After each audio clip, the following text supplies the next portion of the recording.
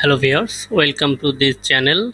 In this video, I am going to show how to configure Sublime Text 3 for Python and Django development.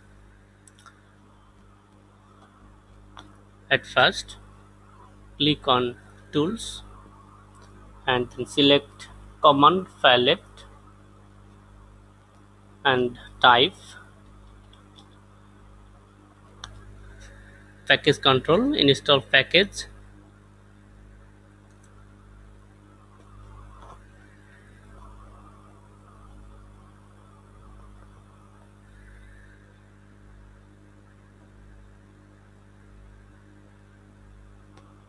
And now search here anaconda. Not showing because I am I have already installed this one.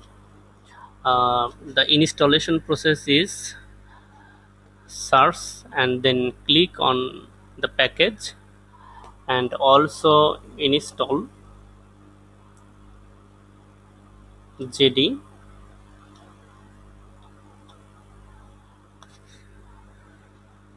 and this package already installed. So not showing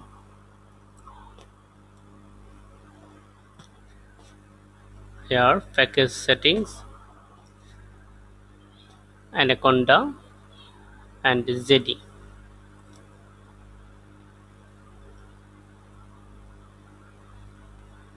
now select anaconda and click on settings default and search here.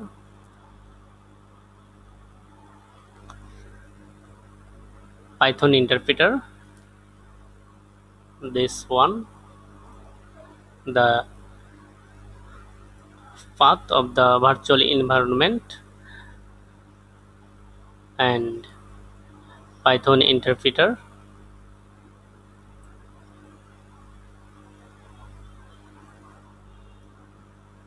You should your setting look like this.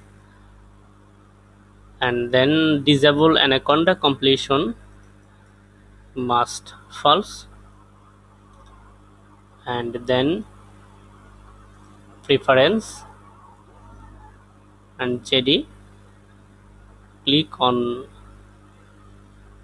setting default. And here also set the virtual environment path python virtual environment. This is my virtual environment path and python interpreter.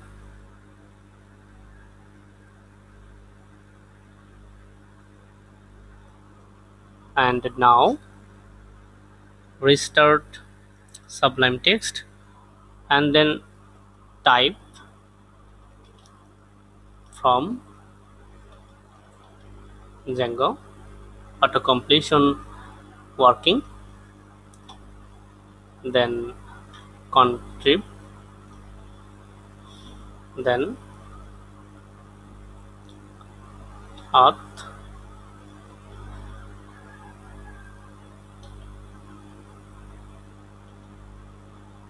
model. Press tab. Import user it's working. So viewers if you like this video subscribe the channel and share your feelings by commenting and like. Thank you